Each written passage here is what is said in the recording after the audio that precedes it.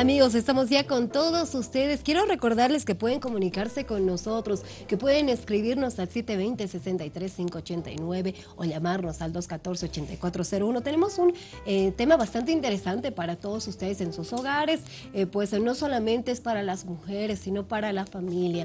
Esto cuando se va presentando ciertas situaciones en las que se requieren de una cirugía, cuando hablamos de, de temas ginecológicos. Así que pues si tienen alguna consulta pueden hacerla con toda confianza. Vamos a hablar de este tema con uno de los especialistas que estoy segura, ustedes lo van a ver y se van a animar a participar, pues estamos junto al doctor Luciano Gutiérrez, quien nos acompaña y a quien le damos la bienvenida. ¿Cómo está, doctor? Bienvenido a nuestra salud.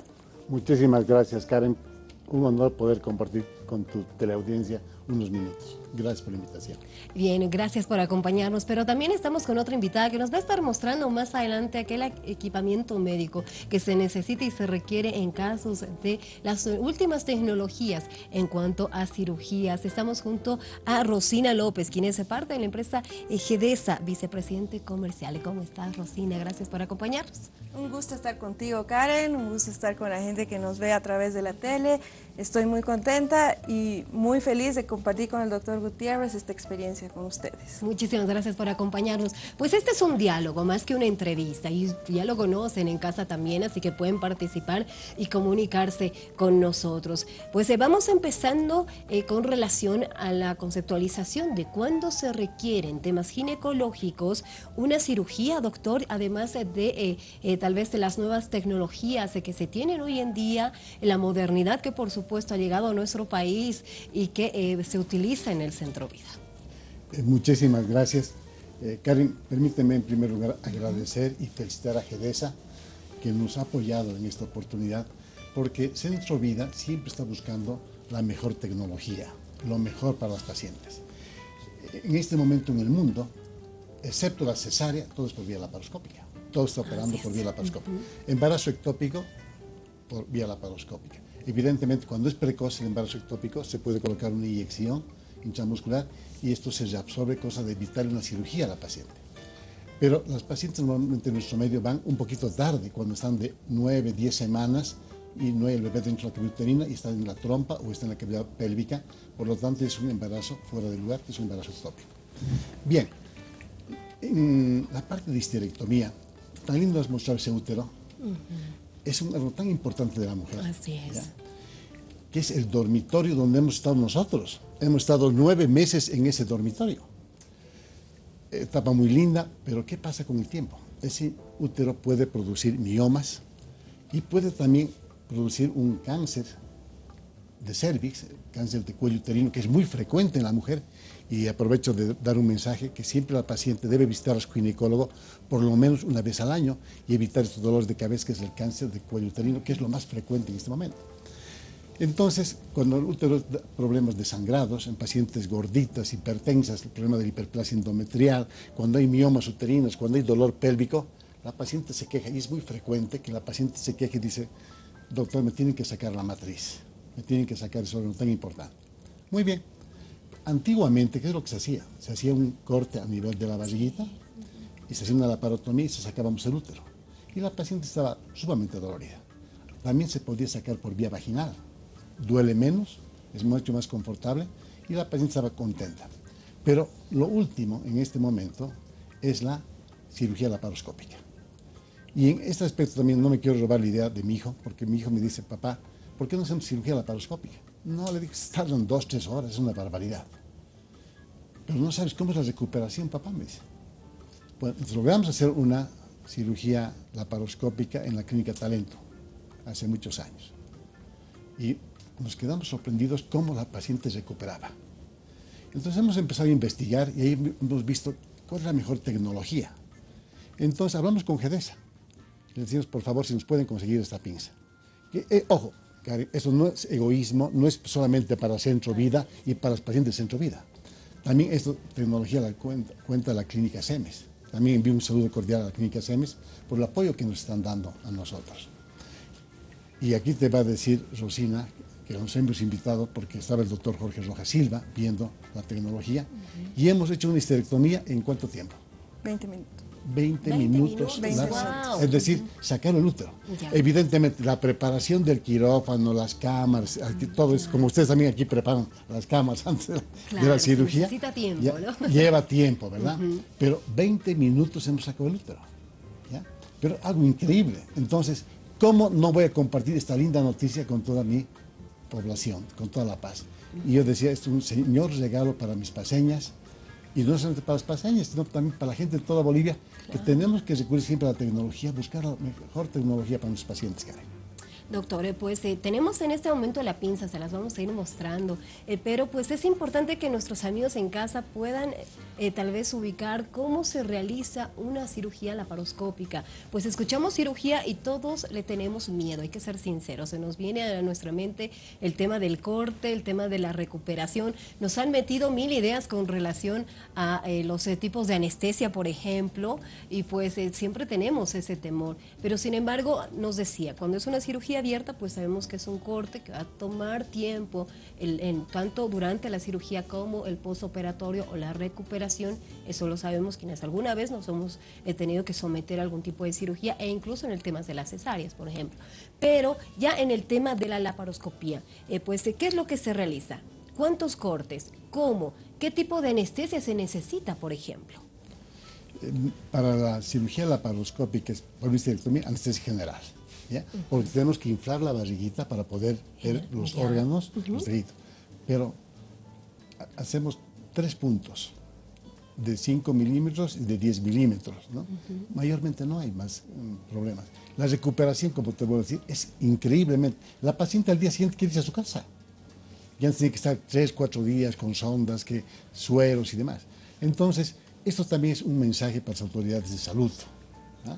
Para las cajas, que compren tecnología. En vez de tener un paciente internado tres, cuatro días, que nos faltan hospitales, nos faltan camas, ah, vamos por la tecnología. Habíamos hablado contigo una vez de la incontinencia urinaria para el láser, por ejemplo, que también lo estamos utilizando. Eso es muy importante porque la paciente se recupera o es ambulatoria y no estamos gastando mucho en salud. Lo importante es que vayamos buscando lo mejor para el paciente. Una paciente que, bueno, ya está muy de moda y en todas partes están operando la cirugía laparoscópica de la vesícula. Sí, se opera y al día siguiente el paciente se va. Antes, ¿cuánto tiempo tenía que estar una paciente en, en- en un seguro en- o en una clínica privada? Cinco, seis, siete días tenían que estar. En cambio, con esta tecnología de vía laparoscópica, se opera y la paciente está yendo al día siguiente. Apéndice, es decir, todo ya está operando por vía laparoscópica. Y aquí quiero aprovechar y de enviar un saludo muy cordial también, aparte de mi equipo que nos acompaña, y anestesiólogos, el doctor Douglas Bravo, que es una eminencia, trabajando también con nosotros, y todo mi equipo. Yo muy feliz de estar aquí en esta linda ciudad. Rosina, pues eh, tenemos la pinza en este momento. Vamos a mostrarles en, casa y en sus hogares, eh, pues, eh, cómo, en qué consiste esta pinza, es decir, pues estos instrumentos y herramientas para realizar la cirugía laparoscópica. Pues GEDESA se ha encargado de traer estos, estas herramientas de trabajo médicas, este equipamiento médico para este tipo de cirugía. Coméntanos, por favor. Ok, muchas gracias. Eh, bueno, como ustedes saben, GEDESA es una empresa que está a la vanguardia de la tecnología, tiene 72 años en el mercado y siempre innovando para traer a la población eh, equipos de última tecnología. Esta es la pinza, que es la Ensil, ¿sí? Esta viene con un conector y esta se conecta a un generador. ¿ok? Este generador nos permite enchufar a una corriente de 110 a 240, o sea que directamente a una corriente normal, y nos permite poder ingresar con nuestra pinza, hacer un corte y una coagulación. ¿no? Esta pinza tiene una rotación de 360 grados, ¿sí? Y nos cuida los tejidos. Eso es muy importante, Karen, el momento de una cirugía. El cuidado al paciente, el darle seguridad a nuestro cirujano y poder realizar un corte, una coagulación, cuidando los, los tejidos laterales. Entonces, con esta tecnología hay un daño termal mínimo de hasta 2 milímetros. Wow. Pues eh, nos damos cuenta de que el uso también es, es sencillo, por así decirlo. Seguramente se necesita, eh, por supuesto, el conocimiento necesario para ello y pues de la manipulación, ¿no? Que es bastante importante. Por Cierto supuesto que sí. Con relación a la manipulación de la pinza, eh, pues todas son iguales, por ejemplo. Tenemos dos tipos de O tecnología en un generador, que es la tecnología bipolar avanzada y también la, ene- la energía ultrasónica. que es energía mecánica. Pero para términos correctos y fáciles de entender, porque de un paciente entendemos que no, no está familiarizado con esos conceptos, podemos nosotros garantizar con esta pinza una cirugía segura al paciente en menos tiempo de recuperación y obviamente brindándole que seguridad y que puede irse a casa prácticamente al día siguiente de una cirugía. Como menciona el doctor, una histerectomía en 20 minutos logra darle seguridad al paciente, seguridad al cirujano y obviamente aminorar los costos, ¿no? Eso es Costos de cama, costos de eh, medicamentos, ¿no? El uso del quirófano seguramente que incluye también el equipamiento y todo aquello, ¿no? Así es. Pues cuando hablamos de seguridad bastante eh, necesario. Por ejemplo, ha revolucionado mucho, Karen, el otro día estuvimos en una entrevista con Douglas, están haciendo el donante del riñón. Uno va a donar el riñón, pero el posoperatorio después, el corte que tienen que hacer, tenga mucho dolor. Y me toca a mí donar el riñón, pero el posoperatorio es lo que duele, lo que molesta. En cambio, están sacando el riñón por vía laparoscópica y el paciente, el, el que dona el riñón, está en muy buenas condiciones y se va al día siguiente, está feliz de la vida. Eso está ayudando también para que los pacientes puedan mañana recuperarse mejor y los, los médicos, el doctor Uri y el doctor Bravo están trabajando muy bien en la parte de la nefrectomía por vía laparoscópica. En el caso de las suturas internas, por ejemplo, sabemos que en algunos casos se requieren, ¿no? Si es que estamos tal vez extirpando un órgano, nos imaginamos que eso va a requerir tal vez ciertos cierres, ciertas suturas. Eh, ¿Cómo eh, funciona? En, en estos casos sacamos el útero y no necesitamos absolutamente nada. Eso sí, para cerrar la cúpula y demás necesitamos unos hilos y también ya le hemos pedido a Jerez unos hilos especiales que ahorran el tiempo, son como unas escamitas, se pasa el hilo y ya no retrocede el hilo. Entonces el cirujano tracciona el hilo y ya no vuelve el hilo. Eso ya no hay que estar haciendo nudos y demás. Claro. Estamos llegando a un top de 10 puntos en estas cirugías y espero que también muy pronto esos hilos nos traigan Jerez. Ahí está, ahí está el pedido en vivo. y totalmente en directo en anotado. nuestra salud. Ya está anotado, está registrado, por si acaso. El tema de la coagulación también nos decía que, pues, eh, de alguna forma nos ayuda, o coadyuva en todo caso, el procedimiento, ¿no? Sí, como les mencionaba, es súper importante el tema de la coagulación, sí. porque como le- la pinza corta y coagula al mismo tiempo.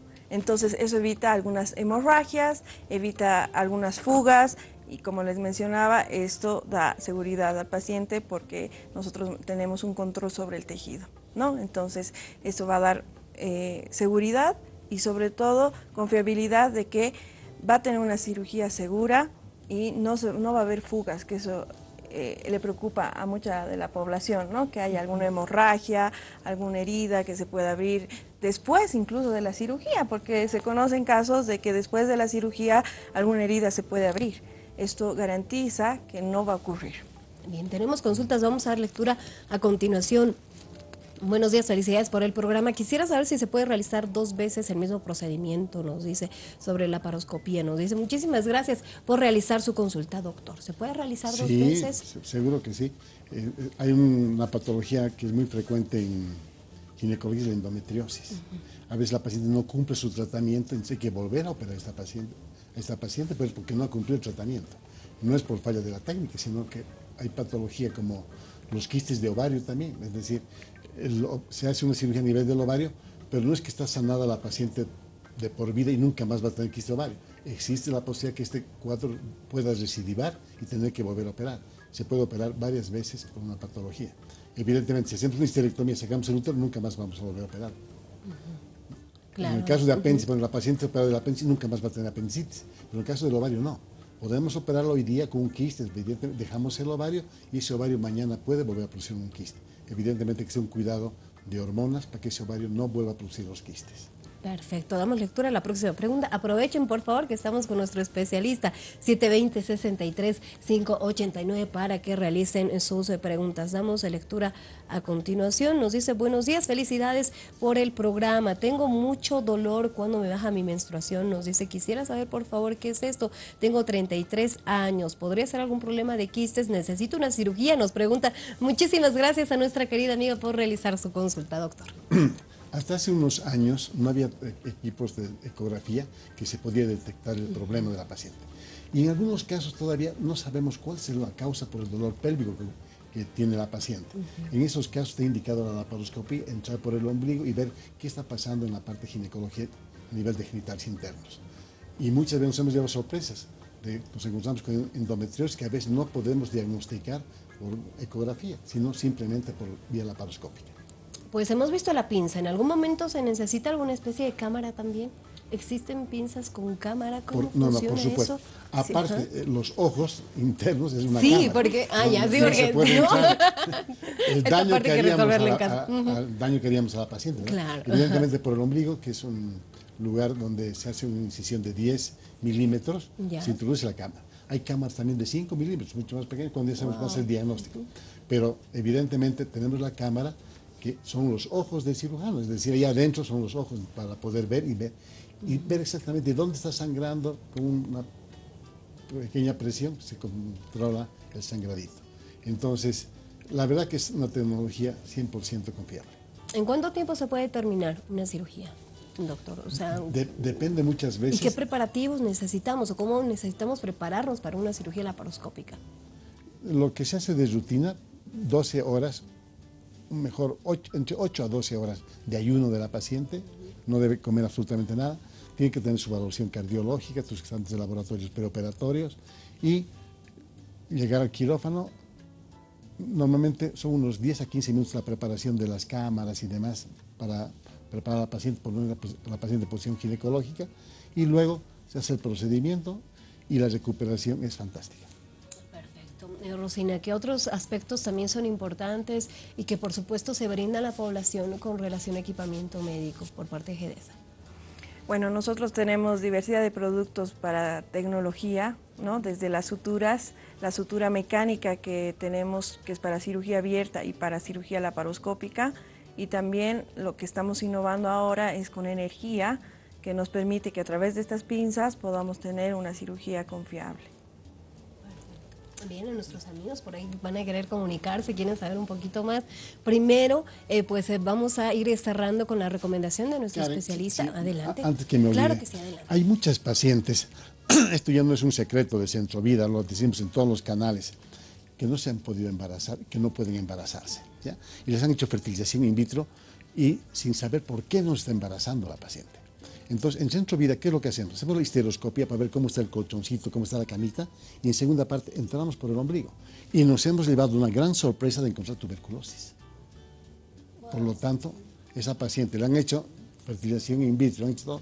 ¿Y por qué? Porque había tuberculosis. O sea, el colchoncito, la camita no está en buenas condiciones, las trompas en malas condiciones por la tuberculosis. Y otra patología que es muy frecuente ver, la endometriosis. Evidentemente, un alto porcentaje da síntomas. La paciente está muy adolorida cuando le viene la menstruación, que se queda en cama, no va al trabajo y demás. Pero hay también endometriosis que no da síntomas, que no da molestias. Entramos, vemos por la cámara y tomamos la muestra, hacemos una biopsia y es una endometriosis, es la causante por la no se puede embarazar. Entonces, para otro capítulo que es muy importante, que me habías pedido que hablemos de ese tema, que será en una próxima oportunidad, Claro que sí, las pacientes que no se pueden embarazar, es muy importante lo que estamos haciendo y es el éxito que tenemos en Centro Vida. ¿Por qué no se está embarazando la señora? No es plantearle, señora, ¿sabe qué? Usted necesita una fertilización in vitro. Evidentemente puede irle bien, pero muchas veces estamos viendo pacientes que se han hecho fertilización in vitro, se han hecho todos los tratamientos afuera inclusive. Les hacemos la histeroscopía y la laparoscopía, se quedan embarazadas sin haber llegado a una fertilización in vitro. Evidentemente, hacemos muchas veces la laparoscopía y la histeroscopía, sabe señora, no queda otra alternativa que tener que hacer una fertilización in vitro porque hay problemas a nivel de las trompas, en fin, mucha patología, pero ya una vez hecha una laparoscopía y una histeroscopía. Que nos va a ayudar como una especie de estudio Sí, también. en ¿no? nuestro medio todavía hay bastante Así es, tuberculosis. eso es cierto. Y de verdad, pues eh, nos hemos dado cuenta de que en otros países sí se utiliza como una forma de poder realizar un estudio y más con ciertas patologías, como decíamos, con el tema de la endometriosis. Así que tenemos que estar pendientes a ello. Es un problema de salud que de verdad genera complicaciones irreversibles, quiero decirles. Así que nuestras amigas pongan atención, por favor. Hoy en día tenemos estas opciones y pues podemos también nosotros acudir a ellas. Vamos a brindarles a continuación pues los datos de dónde y cómo podemos encontrar a nuestro especialista para empezar. Doctor. Bueno, yo estoy en la calle Campos, esquina Avenida 6 de Agosto, en el edificio TUS, en el departamento 2A, y el teléfono del consultorio es el 243-2671.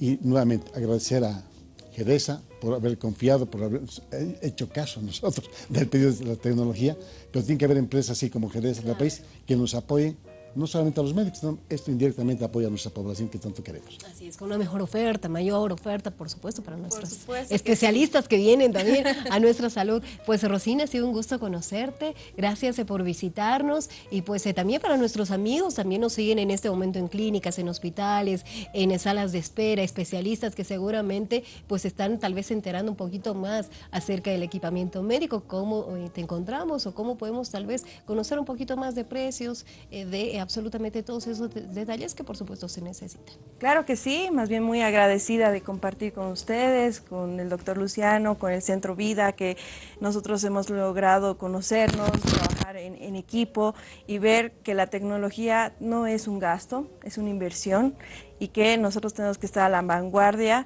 y no considerarnos un, país de tercer mundo, más bien todo lo contrario, porque estamos a disposición de poder tener a la mano eh, tecnología de punta y eh, nosotros estamos muy contentos de poder contar con el apoyo del doctor Luciano Gutiérrez y su Centro Vida, que nosotros eh, hemos podido apreciar lo importante que es y el compromiso social que tiene con la población y va de la mano de nuestra visión como empresa de poder traer tecnología a Bolivia. O sea que muy agradecida y nosotros nos encontramos en la calle 14 de Calacoto y tenemos dos puntos de venta que son eh, el canal de Mi Salud que se encuentra al frente de Multicine y otra al frente del Café Vainilla en San Miguel.